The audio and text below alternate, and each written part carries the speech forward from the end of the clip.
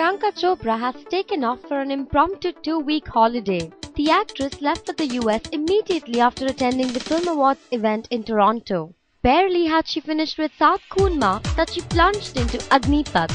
Then there is Barfi where she needed intense preparation for her part as a mentally challenged girl. Then came Kunal Kohli's film where she not only had to play several characters going through various phases, she also had to face the camera with Shahid Kapoor with whom her relationship is under constant scrutiny. All this has apparently taken a toll on her. The actress will spend a holiday connecting with people who have nothing to do with her profession and stardom. This is her way of staying rooted to reality. Outwardly, Priyanka seems a very strong, self-dependent girl but only she knows how much of an effort it has been to shoot with Shahid after they've called off their relationship. Now, isn't that a life of a celebrity?